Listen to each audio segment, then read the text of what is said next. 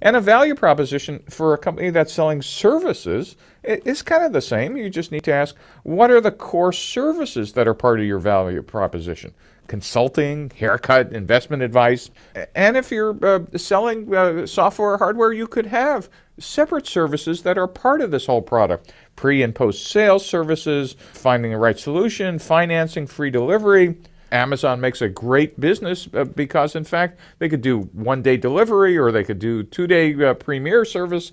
That is, services sometimes, while might seem to be ancillary or, or kind of add ons, actually make your products look better than their competitors. And then what are after sales services? Free maintenance, disposal, etc. And so all these add up, again, to what is it that your product features do.